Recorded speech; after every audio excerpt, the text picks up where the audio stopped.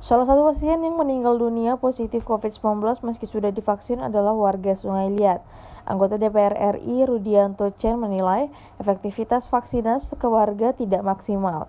Menurutnya perubahan perilaku di kehidupan normal baru tetap dibutuhkan. Vaksin bukanlah senjata pamungkas yang bisa melenyapkan pandemi COVID-19 dalam waktu seketika. Vaksin hanyalah salah satu cara dari beberapa lainnya yang dibutuhkan untuk menghentikan pandemi COVID-19. Para penyintas yang pulih bisa sembuh bukan karena meminum obat virus corona, tapi imunitasnya sendirilah yang menghantam virus hingga benar-benar hilang dari tubuh.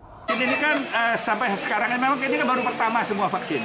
Dalam arti begini, vaksin ini baru ditemukan dan tidak ada satu satu uh, perusahaan pun yang perusahaan vaksin itu yang bisa menjamin 100% setelah divaksin itu tidak tidak tidak terkena penyakit lagi ya dalam arti ya. Jadi sekarang ini karena vaksin ini baru awal-awal penggunaan, efektivitasnya belum ada satu perusahaan pun yang mengatakan mereka bisa menjamin berapa persen efektivitasnya.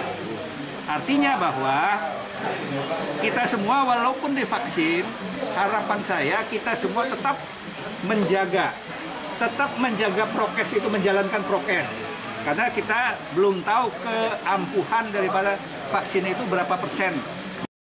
Meski sudah divaksin, warga harus tetap menerapkan protokol kesehatan, mencuci tangan, memakai masker, dan menjaga jarak. Dari Sungai Liat, Kabupaten Bangka, Firmansyah, TVRI Bangka Belitung melaporkan.